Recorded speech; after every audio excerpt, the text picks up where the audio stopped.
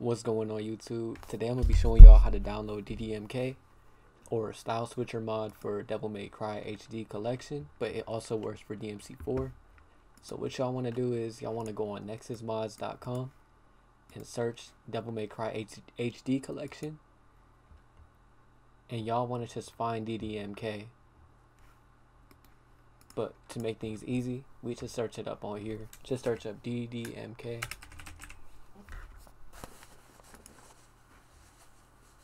And you just install this one. Style switcher ddmk by serpentiem whatever that shit says.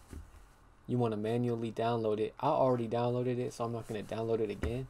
So y'all just gotta you know download this shit and then go on github. I'm gonna just leave all the links in the description of where to get these download links. But y'all want to go to github ddmk and y'all want to download this shit too. So y'all just find it hd collection download both of these files, X Delta 3 and HDC patches. So I already installed these two. But after y'all download those, you want to open your Devil May Cry HD collection file path or file directory. Browse local files. After you download all of those fucking files I just showed y'all, y'all want to um grab these files. These are the files that you should have gotten HDC patches, X Delta, and DDMK. You just want to open each file, right? I use WinRAR. And for HD collection, you choose HDC and just copy all this shit and paste it into this. Get X Delta. You want to copy this shit. And look, I don't know why, but my shit wasn't working when I when I did DDMK, so I had to download these additional files for it to work. So I got X Delta right here. You copy and paste all this shit except for this zip file. Just copy and paste these two, throw it into the um, file directory, and then throw HDC patches into there as well. Copy all of these files and paste it.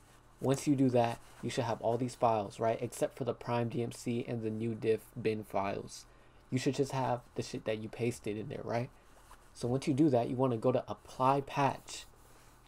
Double click apply patch and it should spawn these these new files, DMC, all this shit. It should spawn these new files for you. Right? And once you do that, you just want to open Devil May Cry. And there won't be any like pop up about opening the mod menu yet, but you just go to DMC3. That shit's loud as shit. You wait for DMC to open or Devil May Cry 3.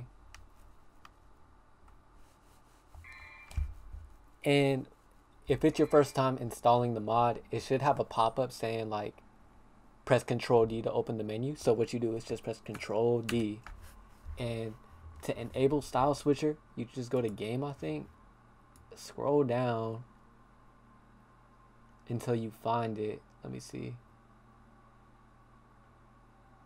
And there's a, a lot of additional mods too, but as y'all can see, there's style switcher, enable it, and if you want to like turn off like quicksilver double tap just click this and it, it quicksilver won't come on when you double tap.